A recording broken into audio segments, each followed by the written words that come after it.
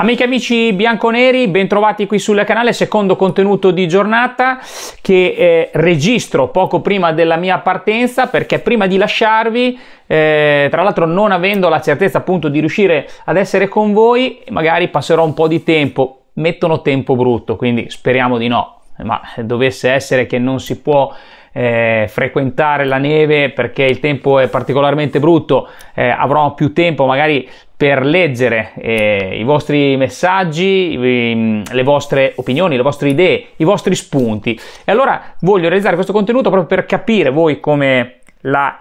giochereste alla luce poi di quello che ovviamente saranno i giocatori disponibili perché abbiamo appreso chiaramente della conferma della mancanza di Rabiot e di McKenny ieri dall'allenamento è uscito claudicante Federico Chiesa le sue condizioni eh, dovevano essere rivalutate oggi. Io penso non sarà nulla di grave però eh, vediamo e cercheremo di capire. E allora eh, giochiamoci un pochino questo Napoli-Juventus. Come se la giocherà Allegri e come vorrei giocarmela io e ovviamente spazio a come vorreste giocarvela voi. Prima di farlo, mi raccomando, iscrivetevi al mio canale YouTube, azionate la campanella delle notifiche e mettete un bel pollicione verso l'alto in fondo alla puntata, sperando possa essere stato un contenuto di vostra com- compagnia. Allora, dunque, ehm, ieri sera ho avuto ancora una volta il piacere di essere ospite di Luigi Schifo su eh, Radio Bianconera Colpo Gobbo e a precisa domanda eh, su come la giocherei io, io sono stato abbastanza esplicito, non che eh, sia una cosa che mi nasce oggi eh, in virtù delle assenze di McKenny e di Rabiot, è un'idea la mia maturata già eh, in tempi non sospetti, eh, con un modulo che può variare dal 433 al 4231, anche con gli interpreti a disposizione di Max Allegri. È chiaro, si fa per giocare, si fa per disquisire, si fa per eh, fare salotto e quindi poi trarre degli spunti, capire le vostre opinioni, eh, le vostre idee. E magari eh, attraverso quelli che sono gli spunti di tanti di voi eh, imparare anche cose nuove e soprattutto magari rendersi conto che quella tua veduta potrebbe non essere eh, praticabile sul campo c'è Max Allegri con i giocatori, quindi per noi è più un, un giocare, diciamo così, che non un poter mettere realmente in pratica eh, certe soluzioni. Però sono convinto che come accade nel primo ciclo, quando Max Allegri si rese conto che per poter utilizzare tutti i suoi tenori dovette cambiare eh, disposizione tattica, eh, assemblando quei giocatori e chiedendo il sacrificio ad alcuni di loro, eh, a tutti per la verità, ma qualcuno eh, mh, mm, diciamo di più eh, di altri. Lago della Bilancia, lo ricorderete, Mario Mandzukic, giocatore che per Allegri sarebbe andato in guerra, come si suol dire in eh, gergo sportivo, ehm, ben sapendo che in questo momento parlare di guerra è sempre molto pericoloso, quindi rimaniamo nell'ambito ovviamente eh, dei nostri discorsi eh, meramente sportivi e quindi eh, è chiaro che per poter cambiare modulo oggi il sacrificio dovrebbe essere chiesto magari a qualcuno in particolare, oltre che ovviamente a tutto il resto della squadra. Chi è il leader? Chi è il giocatore oggi che potrebbe fare un, eh, un raccordo e, e, poter consentire ad Allegri di cambiare questa disposizione che io reputo obsoleta, che reputo eh, ormai eh, talmente usurata dal portarsi il nemico in casa? Eh, perché la mia sensazione, la mia paura, eh, la mia quasi certezza eh, come ho avuto modo di raccontare appunto ieri ospite di Luigi Schifo a Radio Bianconera, ehm,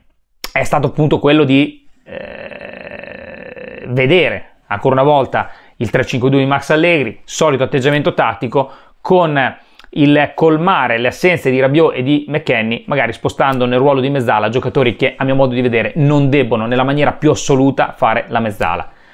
È chiaro, parliamo di Cambiaso, parliamo di Link Junior, parliamo di giocatori che eh, sono già stati provati in quel ruolo eh, per piccoli spezzoni. Eh, uno dei due, maggiormente Cambiaso, può anche per qualità eh, tecniche eh, riuscire a ricoprire il ruolo, ma io continuo a ritenerlo un esterno, continuo a ritenerlo un giocatore talmente intelligente, talmente polivalente, con un grande orientamento del corpo, in grado di gestire sia col destro che col sinistro l'orientamento e quindi il eh, poter giocare la palla tranquillamente con ambedue i piedi, eh, ripeto, talmente intelligente da poter entrare nel campo ed essere un'arma in più, ma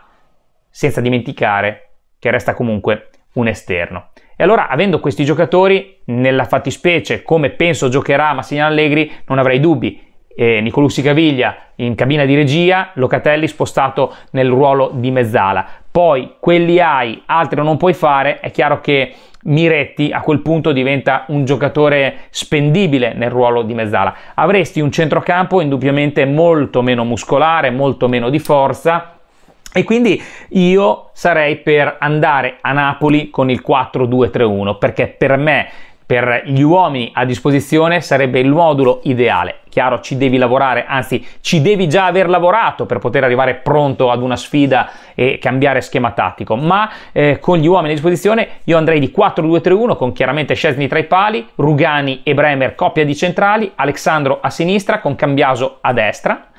e eh, l'alternativa sarebbe Gatti a destra, Cambiaso a sinistra, però eh, considerando eh, il momento che sta attraversando Federico Gatti, ecco, eh, forse un turno di riposo potrebbe anche fargli bene. Comunque, al di là di quello, lì c'è Max, sa lui se meglio Gatti che eh, Alessandro, tra l'altro Alessandro eh, se, non do, se, non domenica contro il Napoli presto eh, raggiungerà il maggior numero di presenze di un giocatore impiegato da Max Allegri eh, eguagliando quota 247 che eh, significa agganciare Leonardo Bonucci. Dopodiché diverrà il giocatore che Max Allegri qualora lo facesse giocare ancora per due partite con più presenze eh, da, diciamo eh, con, con maggior impiego da parte dell'allenatore. E a quota 6 presenze eh, dalle sue attuali c'è l'aggancio al, allo straniero col maggior numero di presenze in maglia bianconera che è Pavel Nedved. Sarebbe obiettivamente un mezzo insulto, però va anche detto che per quanto stia facendo male negli ultimi tempi Alexandro resta comunque un professionista che comunque ha sempre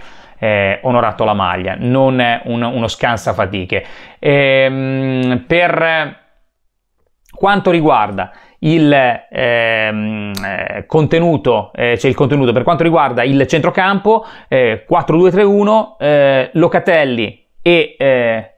Alcaraz nella posizione ah dimenticavo eh, c'è Alcaraz chiaramente Locatelli Alcaraz non ho Locatelli Miretti prima nei, nei, nei centrocampisti del, 4, del 3-5-2 comunque Locatelli Alcaraz nel 4-2-3-1 coppia di eh, centrali davanti alla difesa con i tre sottopunta Kenan Ildista alle spalle di Dujan Vlakovic da una parte eh, magari UEA e dall'altra eh, Federico Chiesa. Ecco questo sarebbe un uno, diciamo, una soluzione che io eh, adotterei nella sfida contro il Napoli, eh, soluzione che obiettivamente ehm, potrebbe dare eh, ancora qualche garanzia, qualche spunto, eh, qualcosa di... Ehm,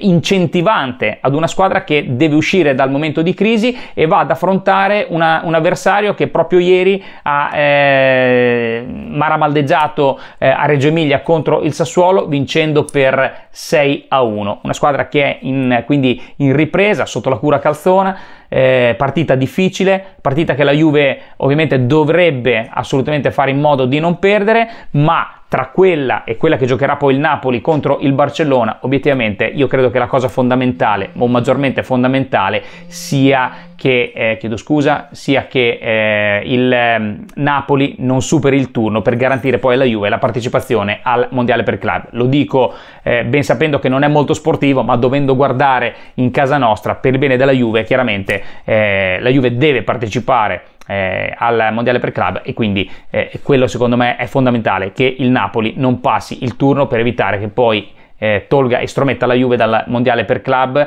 eh, Juve che ne ha tremendamente bisogno, non che non ce l'abbia il Napoli, ma ripeto, commentando la Juve, devo eh, ovviamente riferirvi in questa maniera. Poi è chiaro, è importante anche la partita di domenica contro il Napoli, partita di domenica che eh, è una partita particolarmente difficile in un Arma- Diego Armando Maradona che sarà sold out, con un Napoli in grande ripresa, in pieno spirito positivo, Osimen pericoloso e Juve che non può andare a fare la vittima sacrificale e il 3-5-2 senza gli uomini eh, McKenny e Rabiot eh, che tra l'altro già eh, in difficoltà in questo momento con tutti i, suoi, con tutti i loro compagni, mm, eh, sarebbe un, un, po' come consegnarsi eh, al nemico e questo auspico che non accada. Ditemi la vostra, come giochereste la partita, con quale modulo, con quali uomini, sarà un piacere leggerlo, magari con qualche spunto eh, che può diventare interessante anche per il futuro. Ci sentiamo presto, come sempre, fino alla fine. Ciao!